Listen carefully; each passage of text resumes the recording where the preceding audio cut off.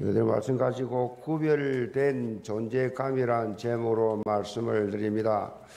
코로나19가 장기화되면서 우리의 삶의 환경 패턴이 다 그렇게 지금 어, 코로나 이전과 완전히 지금 달라지고 있습니다. 지금 전 세계적으로 이 코로나 어, 확진자가 1천만 명이 넘었습니다. 어, 재확산에 대한 우리가 계속 커지면서 지금 우리 이 서울 수도권에도 계속 매일 그렇게 지금 확진자가 늘어나고 있는 이런 어, 불안한 환경 속에서 지금 세계가 지금 이 코로나 때문에 몸살 앓고 있는데 많은 학자들이 이제는 코로나 이전으로 돌아갈 수가 없다라고 진단을 그렇게 했습니다. 그래서 지금 이 변화가 잠깐이 아니에요. 아니, 코로나 끝나 언제 끝나면 옛날처럼 돌아가겠지. 그게 없다는 것입니다. 그 문화가 완전히 바뀌어요. 그 이후에 이 코로나 이후의 삶은 계속해서 지금 계속해서 영향을 미친다.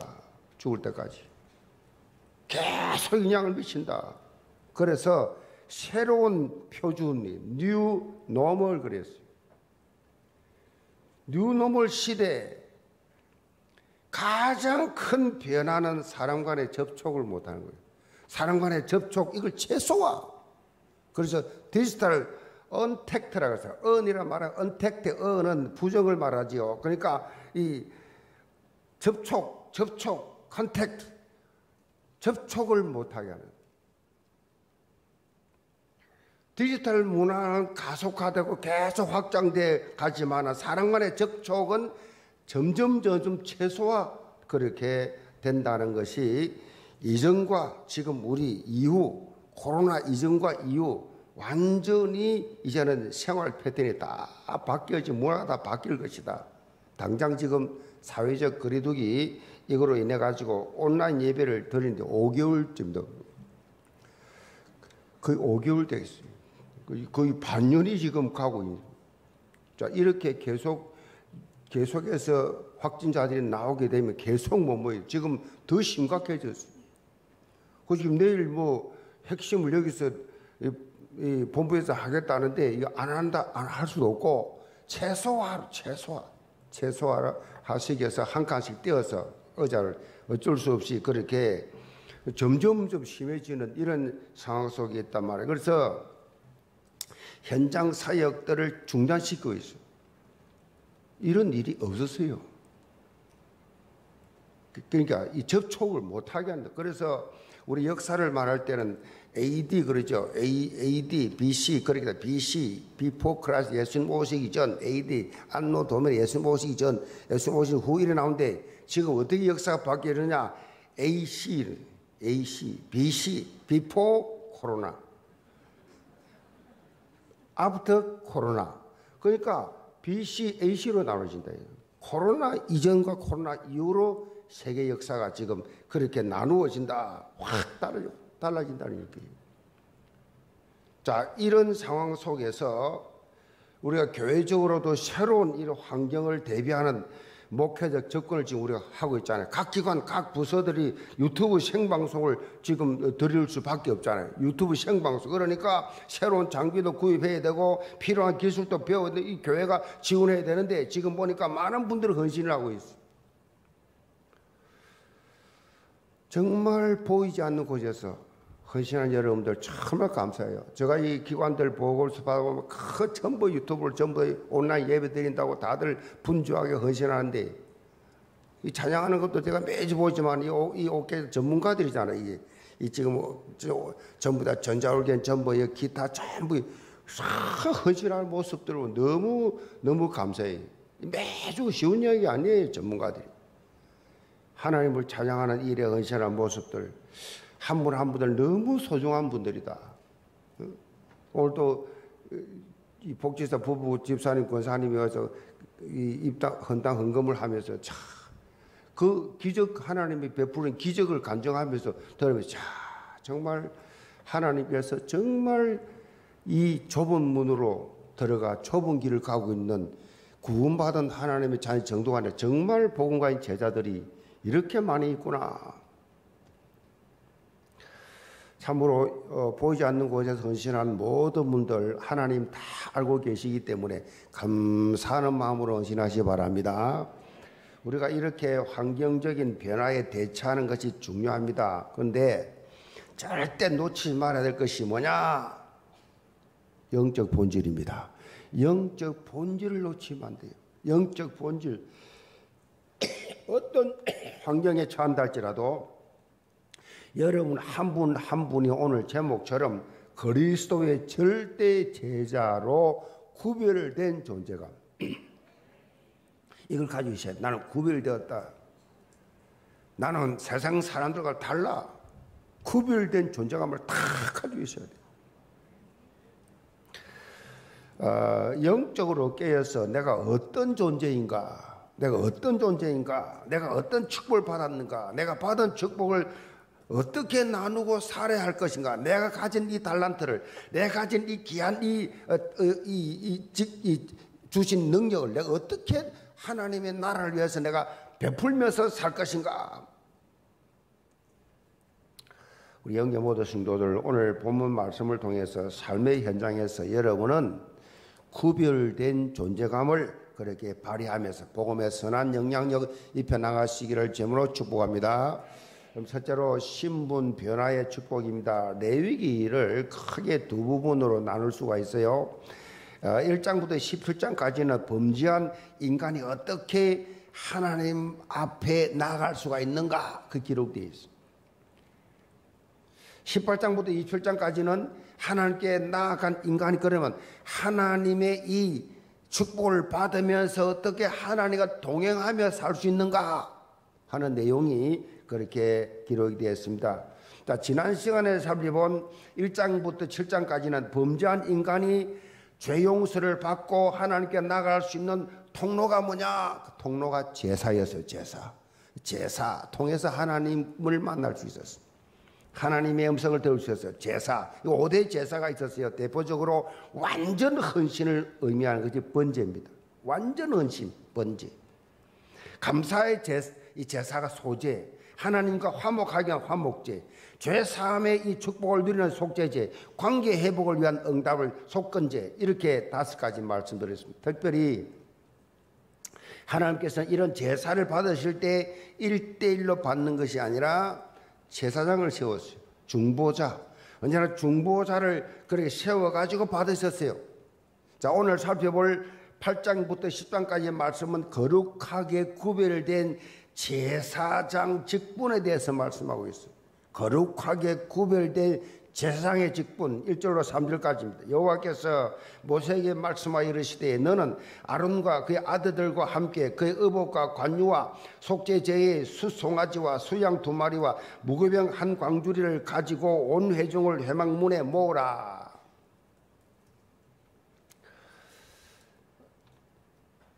하나님께서 모세에게 아론과 그 아들들을 제사장으로 삼으실 것을 말씀하시고 이제 모든 백성을 모아서 이걸 사실화 공론화하겠다. 공식적으로 내가 제사장 제도를 세우겠다. 그렇게 말씀을 하셨어요. 제사장은 이스라엘에서 이 선지자 그리고 왕 더불어서 가장 중요한 직분이 선지자, 제사장, 왕 이 세 직분을 어, 하나님이 세울 때마다 하신 것이 뭐냐? 기름을 부었어요. 세 직분만. 그래서 이 아주 중요한 삼중직이라 기름을 부었다. 특별히 기름 부었어요. 이 세 직분만. 예수님께서 이 땅에 오셔서 행하신 가장 근본적인 미션이 바로 그리스도 직분이었어요. 그리스도를 하기 위해서 이 삼중직을 감당하셔야만 그리스도가 되는 거예요. 그래서 그리스도라는 의미가 뭐요? 기름 부음 받은 자. 기름 부음 받았다. 선지자로서의 하나님 만나는 길이 되셨고 제사장으로서 모든 사람의 죄를 다 완벽하게 해결하시는 사역을 하셨고 그리고 왕으로서 마귀의 일을 멸하러 오셨다. 멸해 버렸었어. 십자가 대속과 부활을 통해서 이 삼중직 직분을 다 그렇게 완벽하게 감당하셨고 하나님과 우리 사이에 막혀 있었던 이 모든 장벽들을 다 허물어 버리시고 하나님 보좌 앞으로 이렇게 우리를 인도하셨습니다. 어, 한마디로 인생 모든 문제를 완벽하게 해결하셨다. 그래서 예수를 믿는 저와 여러분은 이 땅에 살면서 오는 서론적인 거 아무 상관없이 여러분은 문제가 다 해결된 줄 믿으시 바랍니다. 해결돼서 가장 인간의 중요한 죽은 문제 아니에요. 다 죽는데 한 번 죽는 건 죽는 건 정한이치요. 다 죽는데 가장 중요한 돈으로도 권력으로도 힘으로도 능으로도 해결할 수 없는 죽은 문제를 해결해 주셨다. 이 해결 받았어요. 그죠? 완벽한 해결입니다. 이거 이거 해결이 완벽한 해결이지. 이 이상 해결이 없어 완전 끝났다. 이거는 여러분이 그런 분들이에요. 아멘. 뭐 조금 뭐 지금 어려움 좀 있다고 좀 손해 좀 봤다고 기분 나쁜 일 생겼다고 여러분 속이 소침해 있고 부정적인 생각하고 불쌍하면 안 돼요. 그거 다 속는 거예요. 예배 왜 드리냐? 아차 내가 속았구나. 정신 차리자. 아멘. 정신 차리는 것이 예배라면 정신 바짝 차리라 봐 정신. 속지 마시기 바랍니다. 사, 단은 계속해서 여러분을 속입니다. 다 해결됐습니다. 그리스도가 다 해결했다고요. 이것이 범죄한 인간에게 하나님 주신 최고의 복음입니다. 최고의 축복이라고. 끝났다니까요. 나 목사님 고민이 너무 많아요. 나는 문제가 너무 많아요. 갈등이 많아요. 그거를 그리스도가 모든 해결했다는 해서 안 믿어져요. 안 믿어져. 그 말 똑같은 거예요. I'm okay, you okay. 맞아요? 특별히 본문에 잘 봐야 될 것은요. 제사장을 하나님께서요. 직접 선택하셨어요. 제사장을. 모세가 자기 자신이 자기 뭐요 형이잖아요. 친형이잖아요. 형님 제사장 하세요. 추천한 게 아니. 또 아론이 내가 재생하겠다 자원한 것도 아니에요. 한마디로 하나님의 주권적 선택이었어요. 하나님이 선택하신 거예요. 인본주의시고 잔머리 굴리면요. 되는 것에도 전부 말로가 안 좋아요. 하나님 기분 나빠요. 그래서요, 이 직분자들은 중요한 게 하나님 인도받아야 돼요. 뭐 자기 생각에 빠져가 자기 계획, 계획을 가지고 자기 무슨 그거 다 쓰레기통 집어넣어야 돼. 아무 소용없는 거예요. 하나님의 절대 주권을 믿어야 된다고. 네할수 있든 없든 상관없어. 하나님께 다 맡겨라 말하는. 제사장 직분은요. 하나님께서 친히 성별해서 제사장은 성별해서 주었기 때문에 이걸 구별된 축복이라 그래요. 특별히 구별했어. 제사장. 우리 구원도 마찬가지예요. 하나님의 자녀의 가장 큰 특징이 뭐냐? 구별되었다는 겁니다. 성도다 이 말은 구별되었다. 구별돼 세상 사람들하고 구별된 거요. 이 제사장입니다. 구별되었다. 하나님께서 장치 3장의 불신 현장에서 우리를 우리가 뽑아냈어요. 불신 현장에서 뽑아냈어요. 불신자 상태에 살고 있는 나를 뽑아냈어요. 아멘. 하나님 앞에 나와 예배하게 하시고 구원받은 하나님의 자녀로 하나님 아버지라 부르도록. 그래서요, 불신자들과 다른 인생길을 가야 됩니다. 인생 길이 달라. 물질관이 다르고 우선순위가 다르고 모든 삶의 가치관이 다르고 기준이 다르고 방향이 다르고 아멘. 다르다면 완전히 달라야 돼요. 불신자 세상 속에 같이 흡수를 사니까 같이 그들의 개념 가지고 같은 가치관 살면 여러분은 나중에 또 어려움 당한단 말이에요. 하나님 자녀만 그리. 그래서 구별된 삶을 살아야 돼. 그 불신자 이해를 못 해. 불신자가 조롱하죠. 그 좁, 그래서 좁은 문입니다. 이해 안 돼, 불신자들이. 아, 어떻게 이해가 되겠어요? 그 어려운 중에 그렇게 헌금을 3년 동안 그렇게 너무 감격스러워가지고 하나님 앞에 들고 나오는데 그 불신자보다 돌았지. 없는 주제에. 하나님의 살아계심과 예수가 그리스도의 심을 안 믿어지면 할 수가 없는 거예요. 절대 못 합니다. 아무도 모르잖아요. 다시 말해서 창세기 3장 모든 문제를 완벽하게 해결해 주시며 주실 뿐만 아니라 영원까지 그렇게 보장해 주신 구별된 축복을 받은 존재가 바로 우리라고. 대단하지요. 우리는 끝났어요. 이런 구별된 축복에 감사하는 삶을 살아갈 때에 살아갈 때에 그 삶 속에서 열매가 맺혀요. 실제적인 열매가 맺힌다. 구약 시대를 보면요. 이 세워진 제사장, 이 제사장 이 영적으로 얼마나 깨어 있느냐에 따라서 나라의 흥망 성쇠가 달렸어요. 그 당시는 그랬어요. 이 하나님이 세운 이 제사장의 영적 상태에 따라서 그 나라가 자지우지됐어요. 그, 그 정도로 영향이 있었고 굉장히 중요했어요. 제사장 이 신분의 변화의 축복을 누릴 때 모든 것이 회복됐어. 반면에 하나님의 축복을 놓치고 제사장이 무너지면 다 무너져 버렸어. 지금도요, 목회자 한 사람이 어, 떤 영적 상태를 가지고 있느냐, 그 따라서 사역 현장은 그대로 큰 영향을 받게 돼 있어요. 그렇기 때문에 여러분들이 특별히 기도할 때에 기도할 때에 목회자를 위해서 기도하시 바랍니다. 목회자를 위해서 기도해야 돼요. 기도 제목 중에서 담임 목사가 안 들어갔다. 그건 기도 하나를 안 듣습니다. 교회의 가장 중요한 이 교회를 지도하고 있는 담임 목사를 지키기 위해서 기도를 우선적으로 하시기 바랍니다. 그래야 제가 바로 써서 하나님의 쓰임 받을 거 아니에요. 그리고 여러분 교구의 목사님들, 교구의 목사님들 같이 사역하잖아요. 그 전도사님들 사역하잖아요. 기관의 각 부서의 각 기관의 우리 목사님들, 전도사님들 계시잖아요. 그분들과 함께 사역하면서 어떻게 그분을 위해서 어떻게 해요? 기도해야 됩니다. 기도해야 돼요. 그게 그게 하나님이 기뻐 받으시는 기도예요.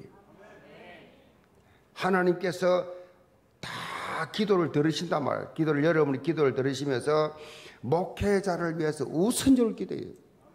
우리 다락방 하면요, 유광수 목사하면서 기도해. 하루, 하루도 빠집니다. 목 1천만 제다 세우는 그날까지 하나님 눈동자가 지켜보아야 주옵소서. 그 양심이잖아요. 그 직분 따라, 직분 따라서.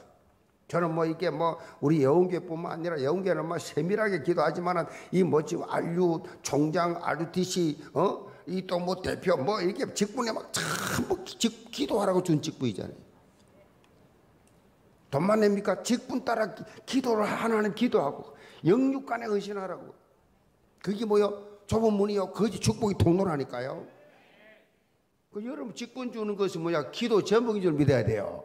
내가 무슨 한다 안 한다가 아니에요. 기도 제목인데 철저히 기도 직분을 통하여 교회가 힘을 얻고 이 직분을 통하여 정말로 지역이 살아나고 이 직분을 통하여 내가 살고 너가 살고 아멘. 그 직분 동안 기도하면 하나님 그 나라와 그 일을 기도하는 그게 좁은 문 하나님 받으시는 그러한 기도란 말이에요. 그래서 세밀하게 기도하시고 저는 중요한 사람 이름 불러가며 기도합니다. 하나님 앞에 기도해. 그래서 하나님이 다 들으시잖아. 자, 더 나아가 신약 시대를 사는 여러분이요. 하나님이 친히 택하셔 세운 제사장 역할을 감당하는 존재. 여러분 누구냐? 베드로스 2장 9절에 여러분에게 향해서 말씀하고 있어. 너희는 택하신 족 속이요. 왕 같은 제사장들이요. 거룩한 나라요. 그의 소유도가 된 백성이니 이는 너희를 어두운 데 불러내어 그의 귀한 빛에 들어가시니에 아름다운 덕을 선포하게 하려 하심이라. 아름다운 덕이 뭐요? 복음이잖아요. 그걸 선전해라. 전에 선포는 선전하게 하라 하십니다. 선포하게 하라 하십니다. 그 신학적으로 말하면요. 지금 시대는 만인 제사장 시대예요. 예수를 믿는 사람은 예수 믿는 예수님을 그리스도를 믿는 사람은 그리스도인이기 때문에 그리스도가 한 삼중직이 그대로 내고 온 거예요. 그 나는 뭐 세상 살면서 제사장적 삶, 죄를 사해 주신 예수 그리스도를 전파해서 그 사람 죄를 사해 주는 제사장 직분. 그 사람을 하나님 만나게 해주는 선지자 직분. 흑암을 꺾고 이길 수 있는 사단을 꺾어버리고 이길 수, 끄집어내서 구원해서 왕적 사명. 이걸 주시, 주셨다니까 여러분에게. 따라서 해보세요. 나는 왕 같은 제사장이다. 아멘. 그러니까 여러분이 공적이든 사적이든 무슨 세상 일을 하든 뭘 일을 하든요. 이런 어떤 영적 이 존재감을 다 가지고 해야 돼요. 그러니까 노는 게 다르죠. 이 불신자들하고 다르죠, 노는 게. 논다가 무슨 말이에요? 물질 문제, 뭐 인간관계 문제, 자존심 문제 나섰을 때 다르죠. 만인 제사장 시대는 예수 그리스도의 참 복음을 받은 여러분 한 사람 한 사람 다 왕 같은 제사장 이 역할을 감당하라고 부르셨다 이 말이에요. 그리스도의 기름 부음 받아가지고 성령 기름 부음 받지 않은 사람 예수가 안 믿어진다니까요. 성령이 아니고는 예수를 주라고 시험 못한다 그랬어요. 여러분이 스스로 생각할 때 나는 뭐 나는 믿음도 약하고 나는 뭐 아는 것도 없고 그러셔서 그렇게 생각할지 몰라도 여러분 안에 누가 계시느냐? 성령이 계신다니까요. 자, 우리 신분을 변화시켜 주신 본질적 이유는 이렇게 우리를 통해서 예수 그리스도의 빛을 발하기 위해서 여러분을 통해 빛을 너는 세상의 빛이니 그렇잖아요. 우리가 무슨 빛입니까? 내 안에 그리스도 계신 그분이 빛을 발하는 거예요. 그분이 성, 성, 이 선전되도록 빛이 빛이 뭐, 빛을 뭐 세상에 숨겨놓습니까? 밖에 탁 모든 사람 비치게 하지. 다시 말하면 전도자의 삶을 실현하라. 전도자 학생은 학교에서 학교에서 시간표지요. 학교 다닐 때는 학교에서 친구들에게 보험을 증거하는 빛의 사자로 직장 다닐 때는 직장에서 직장 친구들에게 복음을 증가할 빛의 사자로 다르죠. 목적이 그거니까. 사업하는 사람은 와, 돈, 돈, 돈, 돈이 아니라 그건 불신자나 하는 거죠. 사업을 하면서 어떻게 하든지 직간접적으로 보험을 증가하는 거죠. 그게 전도자의 삶이잖아요. 그땀 흘려 수고해서 하나님께 드린다. 모든 거 다 주를 위해 살겠다는 거 아니에요. 자, 우리를 위해서 영원한 거처를 마련하신 예수님께서 굳이 구원받은 이후에 이 땅에 우리를 왜 살게 합니까? 거처를 마련해 놓으셨는데 지금 와 지금 우리의 영혼이 살 집을 다 마련해 놓은 그분이 왜 빨리 우리를 데려가지 그렇게 우리를 이렇게 이 땅에 또 살게 하느냐 다른 이유 없어요. 어, 자연 결핍 장애란 말이 있습니다. 무슨 말인가 하면 요즘 아이들이 아파트 둘러싸여 가지고 그야말로 이 각박한 이 도시 생활 속에 그렇게 살다 보니까 자연과 멀어져. 자연과 멀어지면 어떻게 되느냐? 장교 원리가 아니거든. 그러다 보니까 우울증, 또 비만, 뭐 이런 것에 걸려가지고 사는 것을 자연 결핍 장애라 그래서 자연으로 돌아가자는 캠페인을 하면서 녹색 환경 뭐 그런 어, 이 조성을 위해서 노력을 많이 기울였는데 그런데 영적으로 볼 때 땅에 이 땅의 불신자들은 심각한 예수 결핍장에 걸려 있어요. 심각합니다. 예수님을 만나지 못하니까 유리 방황하지요. 그냥 술로 세상 쾌락으로 세상의 무슨 지식으로 세상 물질로 세상 것을 가지면 크게 만족 있는 것처럼 착각을 해가지고 그냥 막 머리 아프죠 머리 아파 심플하지 못살 하지 못 살죠 자다가 불면증 걸리죠 그것 때문에 걱정이 돼서 그거 가지고 일희 일비하지요 영원한 멸망길로 갈 수밖에 없는 불신자들의 상태지요. 열두 가지 영적 문제 속에서 망해가고 자기뿐만 아니요 대를 이어서 후손들에게까지 자사손손이 영원한 저주의 고리를 결코 인간의 힘으로 끊을 수 없다라는 사실을 가르쳐 줘야 돼요. 본인들은 모릅니다. 오직 그리스도만이 해답이 된다는 사실은 저들은 모릅니다.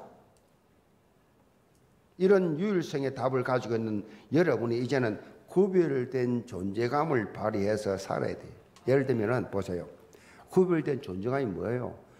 내가 우연히 어떤 사람을 만났는데 그 사람이 보니까 예수를 안 믿어.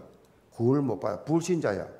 자, 우리 구별된 존재감. 우리가 그 사람에게 어떤 방법을 했으라도 그 사람에게 복음을 증가하는 것이 구별된 존재감이에요. 이용해가지고 내가 육신적 유익을 보다가 불신자들이 하는 거예요. 어리석든 똑똑하든 어떤 상황이든 간에 여러분이 해야 될 일이 뭐냐. 만났다 그러면 복음을 전해야 되는데. 이게 구별된 존재감이 다릅니다. 그런 기준을 가지고 살아봤어요. 평안합니다. 나의 영혼 평안에 평안합니다. 그렇게 못 살면 불안합니다. 교회 다녀도 사이클이 안 맞아가지고 이걸 이렇게 살면 24제자의 삶이라 복음 치유의 삶이라 많은 사람을 치유하지요 치유 만나면 치유하지 힘주지요 이런 영적인 본질을 회복하는 영계 전 성도 되기를 바랍니다. 두 번째 변화된 신분의식입니다. 7절로 9절 봅니다 아론에게 속옷을 입히며 띠를 띄우고 겉옷을 입히며 에봇을 걸쳐 입히고 에봇의 장식띠를 띄워서 에봇을 몸에 메고 흉배를 붙이고 흉배에 우림과 둠빔을 넣고 그의 머리에 관을 씌우고 그 관 위에 전면에 금패를 붙이, 붙이니 곧 거룩한 관이라 여호와께서 모세에게 명령하신 것과 같았더라. 자 구약의 제사장은 특별히 예수님의 이, 하나님의 말씀에 따라서 제작된 의복을 입었어요. 하나님 참 세밀하시죠. 일일이 다 디자인을 다 해줬어. 아주 세밀하게 사진 한번 보세요. 그 당시에 이제 저 제사장 옷입니다. 저 옷의 설명이 다 이게 하나하나 저 지금 여 우리 기록 7절에서 9절에 기록된 그대로 쫙 다 돼 있어요. 이 제사장의 의복을 보면 겉옷을 딱 입은 후에 그 다음에 조끼와 같은 이, 이, 이 옷이 이 에봇입니다. 조끼 같은 거딱 걸쳤잖아요. 조끼 딱 걸치는데 에봇 앞에 뭐 흉배를 붙이고 흉배를 붙였습니다. 그 다음에 주머니를 두 개두 가지고 우림과 둠밈이란 두 돌을 딱 넣습니다. 이 에봇은 제사장의 신분을 나타내는 옷인데 변화된 신분, 완전히 변화된 신분에 걸맞는 삶살. 저 옷이요, 시, 요즘 시세로 말하면 한 5억 됩니다. 5억. 보석으로 다 금으로 다 이렇게 하나님이 직접 디자인한 거죠. 에봇을 입고 제사장의 이 직분을 감당하는 데 있어서 이제는 무슨 뜻입니까? 어, 이걸 입었다 이 말이 무슨 말이 에봇을 입었다 이 말은 네 색깔 내지 말하는 겁니다. 이제는 내가 시킨 대로 내가 시킬 말만 해라. 오직 하나님 앞에서 하나님의 말씀을 따라 그 사명을 감당을 해라 라고 에봇을 입히는 거예요. 하나님이 디자인해서 흉배에 넣어둔 두 돌이 있는데 우림과 둠밈이라 그랬는데 이게 뭐냐면 이 우림은 빛이라는 뜻이고 둠임은 온전함이라는 뜻이에요. 그러니까 바둑알처럼 생겼어요. 흰 돌, 까만 돌. 이 두 돌을 그렇게 어, 넣었는데 그왜 넣냐? 하나님의 뜻을 물을 때 하나님 뜻이 맞습니까? 안 맞습니까? 할 때 그 돌, 돌 가지고 구분을 해내서 돌 중 하나를 그렇게 택해서 제비를 뽑, 도록 했어요. 하나님이 제사장에게 이렇게 제사장은 전적으로 하나님의 뜻을 따라 사는 삶. 여러분 제사장이에요. 왕 같은 제사장이니까 어떻게 살아야 된다고요? 하나님의 뜻을 따라 전적으로 사는 삶이 돼요. 말씀 따라 사시 바랍니다. 그렇게 어, 여러분을 선택했어요. 자, 오늘 본문 말씀을 보면 같은 표현이 계속 반복되는 것인데 그것이 바로 뭐냐면 여호와께서 모세에게 명령하신 것 같이 되었다. 하나님께서 모세에게 명령하니까 모세가 그대로 했단 말이에요. 모세가. 그래서 세상을 위임해서 세울 때 철저하게 하나님의 명령을 그대로 지켜서 행했다 그랬어요. 구별된 인생의 특징이 뭐냐? 하나님의 말씀, 곧 하나님의 뜻과 계획을 온전히 따른 데 있습니다. 다가 빼면 안 돼. 다가 빼면 안 돼. 그 말씀 그대로 따라. 오늘 본문에 보니까 아론과 그 아들들이 제사장으로 세워질 때 하나님께서 명령하신 여러 가지 의식이 진행되는데 한 가지 독특한 장면이 나옵니다. 22절로 24절입니다. 또 다른 수양꽃 위임식의 수양을 드릴 새 아론과 그의 아들들이 그 수양의 머리를 안, 머리 안수함에 모세가 잡고 그 피를 가져다가 아론의 오른쪽 깃뿌리와 그의 오른쪽 엄지 손가락과 그의 오른쪽 엄지 발가락에 바르고 아론의 아들들을 데려다가 모세가 그의 오른쪽 깃뿌리와 그들의 손의 오른쪽 엄지 손가락과 그들의 발의 오른쪽 엄지 발가락에 그 피를 바르고 또 모세가 그 피를 재단 사방에 뿌리고 자, 이 장면은 제사장 위임식의 마지막 장면인데 자, 여기서 아주 중요한 영적 의미가 있어요. 그 특별히 피, 피를 바르고 피 이건 장차 십자가에서 흘리실 예수 그리스도의 보혈의 피를 의미하는데 하나님으로부터 이제 택함 받은 영적 제사장이 우리는 다른 능력이 아니다. 모든 재앙과 저주에서 빠져나오게 하는 예수 그리스도의 보혈의 권능을 힘입어 사역해 나간다. 하나님 주신 힘으로 주의 일을 해야 돼요. 그래야 힘들지 않습니다. 내가 하면 힘들어요. 자, 그 피를 오른쪽 귀에 바른 것은 뭐냐? 오직 하나님의 말씀, 하나님 말씀만 듣겠다는 의미예요. 말씀만 듣겠습니다. 세상의 소리에 미혹되지 않고 오직 하나님 말씀만을 인생의 기준으로 삼겠다라는 뜻이에요. 또 엄지손가락과 엄지발가락에 바른 것은 자신들이 들은 하나님 말씀 있는 그대로 순종하면서 미션을 감당해 나갔다는 영적 결단을 다지는 그러한 어, 의미가 담겨져 있어요. 그리고 레위 9장에 보면 하나님의 말씀에 따라서 제사장으로서의 이 공적 사역을 시작을 합니다. 특별히 아론이 드린 이 첫 제사를 하나님께서 기쁘게 연락하셨다는 증거로 하늘로부터 불을 내려서 단위의 번제물과 기름을 다 그렇게 불살랐다 받았다는 증거예요. 하나님 응답하셨다는 증거예요. 하나님 기뻐 받은 제사의 증거. 불을 다 불로 다 살았다. 그 모든 점을. 그런데 그 놀라움도 잠시예요. 레위 10장에 보면요. 아주 끔찍한 사건이 납니다. 10장 1절로 2절입니다. 아론의 아들 나답과 아비후가 각기 향로를 가져다가 여호와께서 명령하시지 아니하신 다른 불을 담아 여호와 앞에 분양하였더니 불이 여호와 앞에서 나와 그들을 삼킴에 그들이 여호와 앞에 죽은지라. 제사장으로 시험 받은 지 얼마 되지도 않았어요. 얼마 되지도 않아서 아론의 아들 이 나답과 아비우가 죽음을 당하는 상황이 발생했습니다. 그 이유가 뭐냐? 딱 한 가지였어. 여호와께서 명령하지 아니한 다른 불. 그걸 담아가지고 여호와께 분양을 했단 말이에요.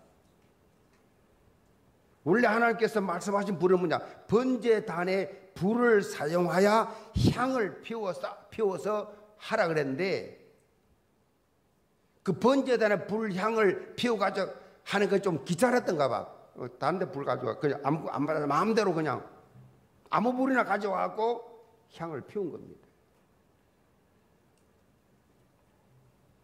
지금 시대에도 이 나답과 아비후 같은 사람들이 있어요. 하나님과 사람 앞에 예수 그리스도의 복음이 아닌 다른 복음, 다른 복음을 들고 나오는 사람들, 전하는 사람들. 하나님께서 우리를 구원하시기 위해서 주신 그 불이 뭐냐? 오직 예수 그리스도입니다. 오직 예수 그리스도밖에 없는데 다른 불을 가지고 그 결과는 죽음과 심판밖에 없어요. 이 이단들 예수 그리스도 위에 다른 것을 전하는 이단들 죽음과 심판 지옥의 가장 무서운 곳에 떨어질 거예요. 바울은 갈라데 1장 6절 8절에 예수 그리스도의 복음 외에 다른 복음의 복음이 없다는 사실을 강조하면서 이 복음의 유일성을 희석시키는 자, 이 복음의 유일성 오직 그리스도에 이 그리스도가 그리스도만 전하지 않는 자는 그리스도를 전, 외치지 않는 자는 설령 하늘에서 온 천사를 할지라도 저주를 받을 것이다 그랬어요. 무슨 말씀이에요? 우리 영계 모든 성도들 영적 제사장이라는 이 변화된 신분 의식을 가지고 늘 영적으로 깨어 언약 이 기반한 유일성의 신앙생활 하시기를 제문으로 축복합니다. 결론입니다. 어떤 목회자가 자신이 이 목회를 하는 목회 자기 목회를 소위 말해서 목회 철학을 젓가락 목회라 그렇게 표현을 했어요. 그 이유가 뭐냐? 대신방을 하다 보면 이제 그 점심 때가 되면 식사 대접을 하잖아요. 어느 집에서 하면 그러면 그 다음 날 또 점심을 할 거 아니에요. 그러면 이 다음에 할 그 집에서 물어보거든. 뭐라 물어보냐? 목사님이 젓가락이 제일 먼저 어느 쪽으로 가더냐? 뭘 좋아하더냐? 그거지요. 그러니까 그러니까 이 젓가락 가는 쪽이 제일 먼저 가는 젓가락 그러니까 음식을 이제 정보를 받아 가지고 그 다음 날 이 점심 먹으면 똑 똑같은 바, 바, 이제 상이 같은 거지요. 뭐 좋아한다니까 계속 좋아하는. 제가 개척하면서요. 제가 홍시를 좋아하거든요, 사실은.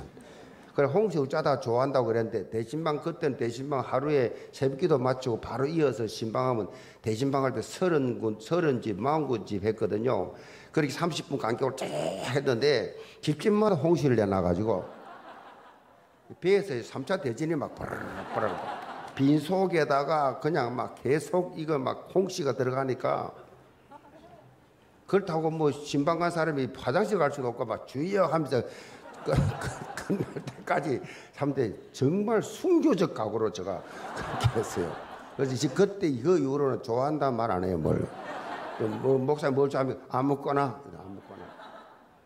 근데 이 목사님이 뭐 계속 똑같은 거 나오는데 그 뭘 느꼈냐 하니까 아 교인들도 이렇게 담임 목사가 이렇게 어, 좋은 것을 대접하려고 좋아하는 걸 대접하려고 이렇게 정성을 다하는데 내가 하나님이 좋아하시는 것 하나님이 좋아하시는 이 하나님 젓가락이 어디로 갈까?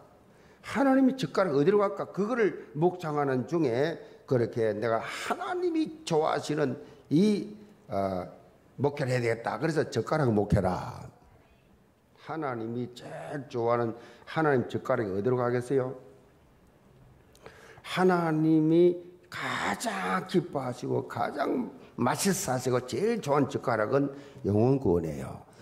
영혼 구원에 포커스를 맞추는. 그래서 우리 교회가 2000년부터 작년까지 새 가족이 매년 2,000명이 넘었어요. 등록한, 교회 예원교회 와가지고 등록한 숫자가 2,000명 넘었어요. 그러면 20년을 동안 2,000명 이상 왔으면 20년이면 4만 명인데 어디 갔냐 모르겠어요. 그 새가족 부서 알아서 하세요. 하여튼 등록을 그래 했다고요. 그렇게 올해는 이 코로나 때문에 아마 그렇게 못 될 것 같아요. 1대1 지금 교회화 운동을 해야 돼. 이거 못 부르지는 이유가 못 만나게 하는데 못 만나게 하니까 이게 지금 이게 문제라면 그럼에도 불구하고 새 가족이 매주 그래도 어 오는데 청년들이 제일 많아 그냥 매주 청년들 없으면 새 가족도 그야말로 지금 뭐 놀판이야 그 정도로 많이 그렇게 오는데 어떻든 참 감사해요. 감사해. 이런 상황 속에서도 전도하는 성도들이 있으니까 전도하는 청년들이 있어서 너무 감사해요. 어떻든 그렇게 정말로 이렇게 하나님이 기뻐하는 하나님의 젓가락이 어디 가느냐? 영원 구원입니다. 구원 얻기로 작정된 영혼. 그 영혼에 하나님 젓가락이 간다. 제일 많은 곳에 이 하나님이 젓가락 제일 많은 곳에 포커스 맞추는 젓가락 목회. 음. 자, 우리는 늘 하나님의 뜻과 계획이 무엇인지 분명히 붙잡고 그것을 이루어 드리는 사명이 있어야 합니다. 하나님의 젓가락이 최고 많이 가는 곳이 어디냐? 늘 이곳에서 하나님 집가락이 어디로 갈까? 늘 영혼 살리는 쪽으로 방향 맞추어 보시 바랍니다. 제가 늘 간증하잖아요. 저도 사업을 하면서 그렇게 여러분처럼 팽신도를 하면서 늘 제가 그 그것이 지금 생각 그게 서로인 줄도 몰랐어요. 모든 관심이 교회 직분, 모든 관심이 영혼군 현장이었어요. 그 저는 신학을 늦게 했지만 벌써 신학 간 사람보다 15년 전부터 현장 때였어요. 현장 때 1년에 5천 장씩 영접 카드 받으면서 그냥 매주 매주 한 주도 봐 현장 같아 현장. 불신자를 찾아가 불신자 영접을 시켰다니까요. 1년에 5천 장씩 그막 착착착착 영접 카드를 받았다니까. 그렇게 이 하나님 앞에 그 했는데 그럼 사업을 한 사업이 그러면 뭐또 망해야 되지 않냐? 지금까지 하고 있잖아요. 여러분요 아셔야 됩니다. 하나님이요 하나님이 한 번 마음에 들어버리면 끝났으면 끝내버려요. 평생 책임져 버려요. 그러니까 여러분 생각할 때 내가 직장에서 일을 열심히 해서 열심히 해서 정말 직장에서 잘 보여야지 뭘 중요합니다. 성실하게 해야지요. 성실하게 해야지. 사업도 예, 누구보다 일찍 출근하고 누구보다 늦게 타고 최선을 다해야지. 뭐든지 하나는 최선을 다하지 않은 사람 사용하지 않습니다. 공부도 그렇습니다. 공부도 안 합니다. 믿습니다. 서울대 경영과가 주시잡았어. 그런 사기꾼 같은 말 하면 안 돼요. 하지도 안 해놓고 하나님 능력입니까? 하나님은 사기꾼 만듭니까? 일을 일도 안 하면서 게을러 빠져 매일 잠이나 자고 매일 놀면서 주여 축복하지 뭘 축복해줘? 하나님 그런 분 아니, 아니에요. 뭐라 그러십니까? 힘지도 않고 건줄 알았냐? 이 악하고 게으른 종아. 힘지도 않고 건줄 알았냐? 예수님 말씀 말씀이에요. 한 달란트 가지고 땅에 묻어놓은 사람. 이 악하고 게으른 종아. 어두운 데 던져라. 하나님을 알기로 어떻게 하십니까? 여러분 하나님 앞에 기도, 여러분요 정말로 이 말씀, 천도, 헌신, 내가 최고로만 할 거야 해보시기 바랍니다. 하나님 어떻게 축복하시는 거? 이게 뭐예요? 영혼 구원에 포커스 맞추고 사는 사람을 구별된 존재감 그럽니다. 이 사람은 구별된 존재감 있는 사람이야. 관심이 딱 포커스가 그거야. 이렇게 맞춰져야 된단 말이에요. 그래서 하나님 앞에 최고 상급 받는 현장 전도자 되기를 주으로 축복합니다. 자, 우리 합심해서 기도하겠습니다. 하나님 앞에 기도하러 나왔으니까 하나님이 아버지 하는 순간에 들어요 안 들어요? 듣습니다. 여러분이 전화 한 통하면 그냥 전화 핸드폰 잡으면 바로 나오잖아요. 아버지야 바로 듣습니다. 여러분 생각까지 다 간섭한다 그래서 구별된 존재감 가지고 살아본 하나님 오늘부터 내가 불신자와 차별화된 이 종교인들과 차별화된 구, 구별된 그러한 존재감 가지고 살게 하여 주옵소서. 지금 우리 주위에는 예수 결핍 장애인들이 많이 있습니다. 이 복음을 받지 못해가 복음을 알지 못해 방황하는 사람들 너무 많습니다. 하나님 일의 나를 선받게 하여 주옵소서. 하나님의 젓가락 영원 구원 여기에 포커스 맞추게 해달라고 주여 메시기도 하겠습니다. 주여 살아계소